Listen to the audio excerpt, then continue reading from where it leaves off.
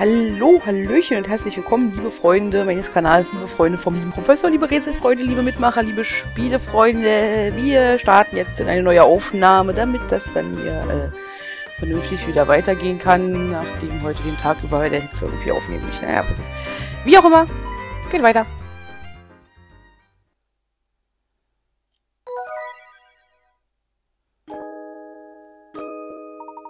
Nach langer Fahrt im Mollentary Express kommen Luke, Flora und der Professor in Fallsens an.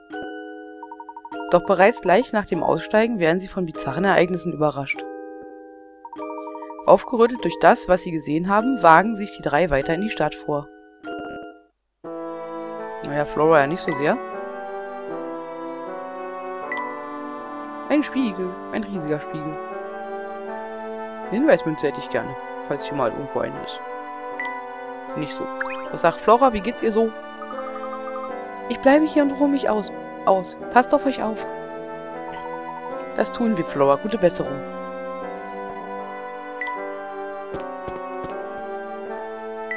Na dann mal weiter hier. Nach allem, was wir gesehen haben, verstärkt sich mein Eindruck, dass Dr. Schrader hier in Fallsense war.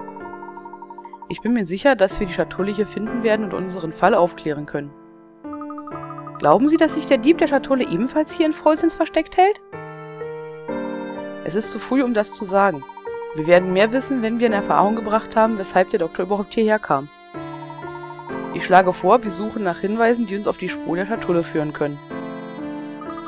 Na dann mal los. Gehen Sie voraus, Professor.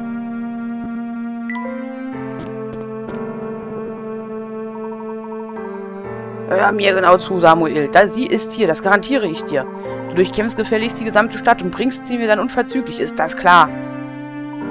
Oh Mann, Onkelchen, meinst du, das olle Ding ist überhaupt so toll, wie alle behaupten? Ich weiß nicht, für mich hört sich das alles ziemlich abenteuerlich an. Hör ich da richtig? Ich könnte schwören, du hättest gerade meine Informationen angezweifelt. Du hast mich in dieser Angelegenheit nicht zu berichtigen und jetzt mach dich an die Arbeit, na los. Schon gut, Onkelchen. Ich gehe da nicht gleich, gehe geh auch nicht gleich in die Luft. Ich bin ja schon unterwegs. Was meinen Sie, wovon Herr Beluga und der Schaffner da gesprochen haben, Professor? Mir scheint, die beiden sind auch auf der Suche nach etwas. Oh, sehen Sie mal da, Professor. Da liegt... Was liegt denn da Seltsames auf dem Boden? Was zum... Es scheint ein Buch zu sein und ein ungewöhnliches dazu. Jemand muss es verloren haben. Huch, und dieser ausgefallene Einband. Was ist denn das für ein Symbol? Sehen wir uns das mal genauer an. Dieses Symbol stellt wohl einen Ziegenkopf dar. Also was immer das sein soll, es ist irgendwie gruselig, aber ich frage mich trotzdem, was da drin steht. Leider ist es fest mit Schlössern gesichert. Mehr als die erste Seite können wir nicht lesen. Doch dieses Symbol finde ich überaus faszinierend.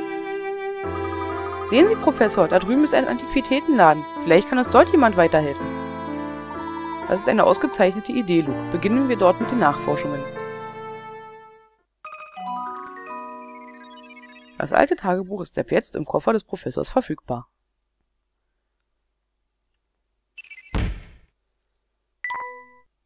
Beluga behandelt Sammy wie einen Leibeigenen und jagt ihn auf der Suche nach etwas durch die ganze Stadt. Es ist unklar, warum Beluga eine geheime Bahnverbindung nach Folsens eingerichtet hat, aber das gesuchte Objekt ist ihm sicher sehr wichtig. Was könnte das sein? Luke und Professor Layton beschließen, den örtlichen Antiquitätenladen aufzusuchen.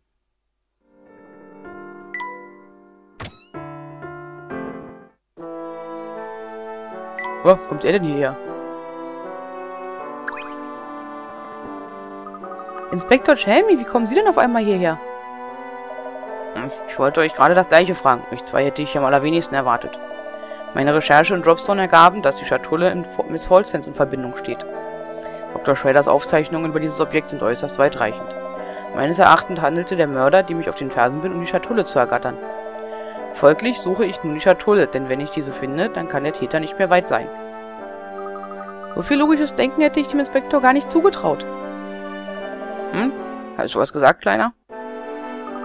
Äh, nein, gar nichts. Gut, denn ich habe gerade keine Zeit zum Plaudern. Schließlich muss ich einen Mord aufklären. Kommen Sie, Baton, wir gehen. Was? Äh, ich meine, ja, wohl, Chef.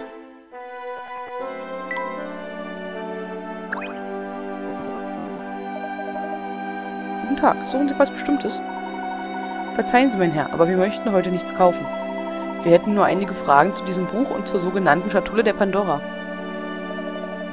Ach, schon wieder diese Schatulle. Das ist schon das dritte Mal heute, dass mich jemand danach fragt. Das dritte Mal schon? Ja, die zwei Herren von Scotland Yard haben Sie ja gesehen. Und davor war eine junge Dame hier.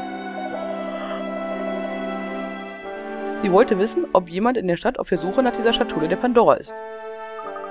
Hm, können Sie diese junge Dame beschreiben? Oh, sie war sehr hübsch. Sie war nicht von hier, aber ihr Gesicht kam mir irgendwie bekannt vor. Und was die Herren von Scotland Yard angeht, die führen hier wohl irgendwelche Ermittlungen durch. Ich kann nur wiederholen, was ich den anderen bereits gesagt habe. Ich würde gerne helfen, aber ich habe heute zum ersten Mal von dieser Schatulle gehört.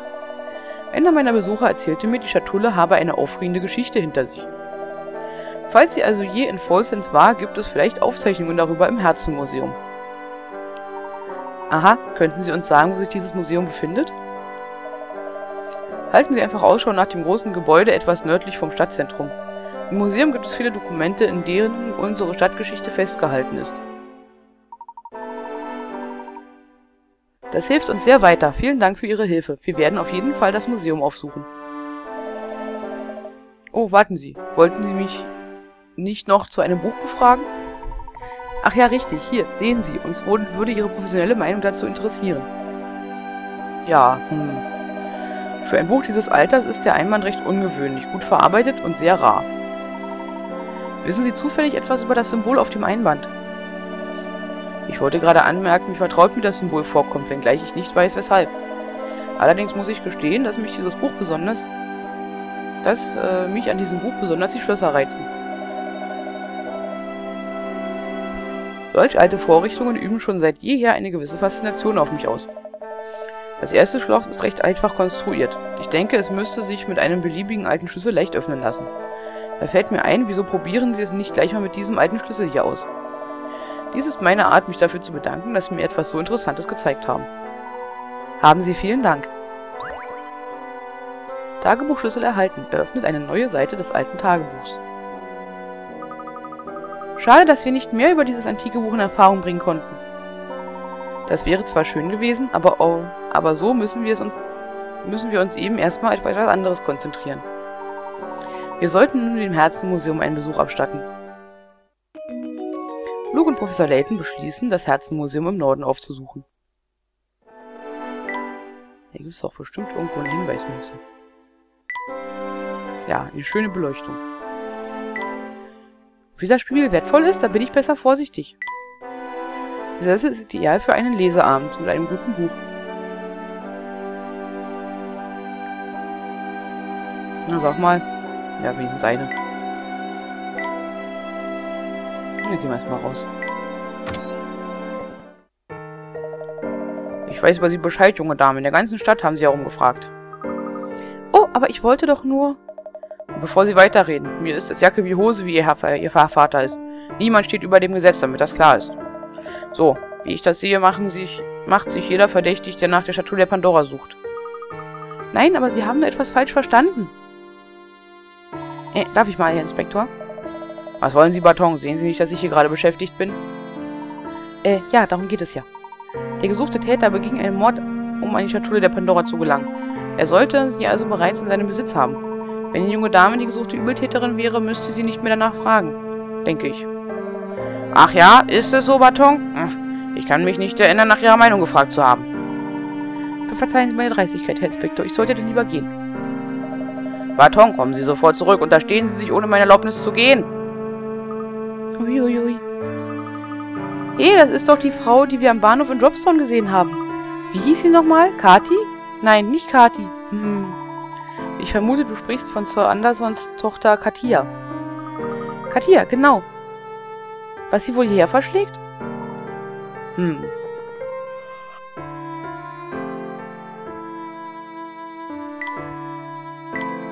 Kaum zu fassen, was man alles auf der Straße kaufen kann. Und hier gibt es schöne Läden, sagt der Professor. Nee, da wollten wir nicht nochmal rein. Wir wollten gucken, ob es hier Hinweismünzen gibt.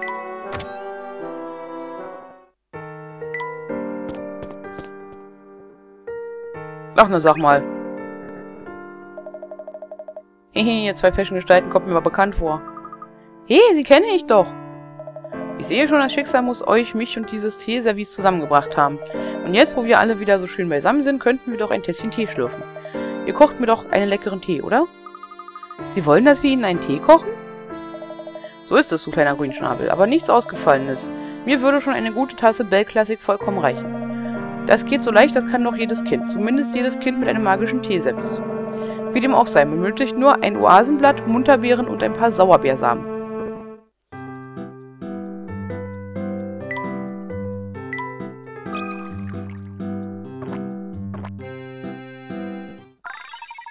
Vorzüglich ein Lächeln macht sich auf Schnurrbarts Gesicht breit. Er ist erfrischt und zufrieden. Hey, das war gar nicht schlecht, Kleiner. Natürlich hättest du das nie ohne meine tolle Beschreibung geschafft, also werde nicht übermütig. Wisst ihr, in dieser Stadt gibt es sehr viele durstige Leute. Ihr habt ein Teeservice, also ist es gewissermaßen eure Aufgabe, den Leuten zu helfen.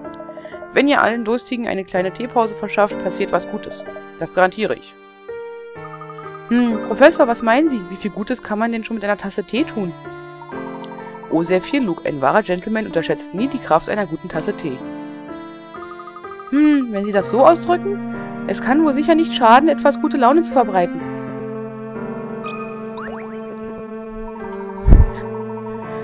Ja, holla, ihr rennt ja ganz schön in der Gegend herum. Da werde ich schon vorm Zusehen müde. Höhö. Warum ruht ihr euch nicht kurz bei einem Rätsel aus?